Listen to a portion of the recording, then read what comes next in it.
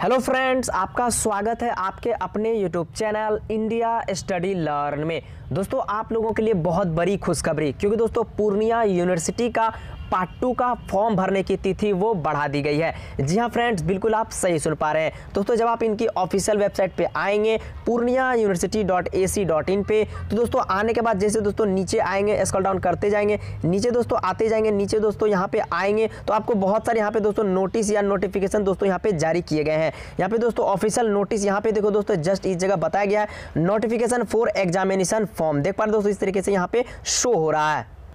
तो देख पा रहे दोस्तों, यहाँ पे देखिए नोटिफिकेशन फॉर एग्जामिनेशन फॉर्म यहाँ पे दोस्तों शो हो रहा है तो आपको इसी वाले पे दोस्तों डाउनलोड कर लेना है, ठीक है? देख पा रहे दोस्तों डाउनलोड चलिए हम इस पे डाउनलोड पे क्लिक कर देते हैं।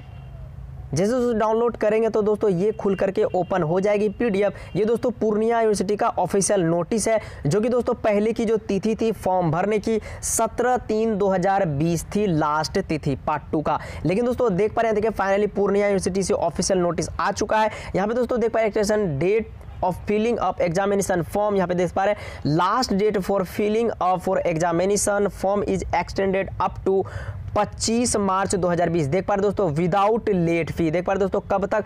25 मार्च 2020 तक दोस्तों, आप पार्ट टू का फॉर्म भर सकते हैं विदाउट लेट फ़ी के। यानी कोई भी फ़ीस आपको एक्स्ट्रा नहीं देने की ज़रूरत पड़ेगी। ठीक है? लेट फ़ी देने की ज़रूरत नहीं पड़ेगी। दोस्तों, अगर आपको कोई भी प्रॉब्लम या फिर दोस्तों, कुछ सॉल्यूशन लेना है तो दोस्तों, आप इनकी हेल्पलाइन ईमेल पे दोस्तों, आप इसको मेल करके पूछ सकते हैं। देख पा रहे दोस्तों दो दो ईमेल जारी कर दिए हैं। दोस्तों, इस फॉर्म को भरने में यहाँ पे देखिए यूजी या फिर पीजी एनी कोर्स दोस्तों, यहाँ पे भरने के लिए दोस्तों, यहाँ पे ईमेल वगैरह दिए हैं। एड्रेस में किसी प्रकार की गलती, स्टेप्स दोस्तों, होती है, आपको लग रहा है कि मेरा, यानी कि यूज़र आईडी डालने के बाद मेरा नहीं ले रहा तो दोस्तों आप उनको मेल कर सकते हैं और इससे दोस्तों हेल्पलाइन ले सकते हैं हेल्प ले सकते हैं। ठीक है दोस्तों, मुझे एक छोटा सा इन्फॉर्मेशन देना था आप लोगों के लिए। आई होप दोस्तों ये छोटा सा इन्फॉर्मेशन अच्छा लगा हो तो वीडियो को एक लाइक ज़रूर कीजिएगा और साथ ही दोस्तों, इस वीडियो को अपने दोस्तों में फटाफट दोस्तों व्हाट्सएप ग्रुपों में फैला दीजिए, बता दीजिए उन लोगों को भी जिनको नहीं मालूम है, ठीक है?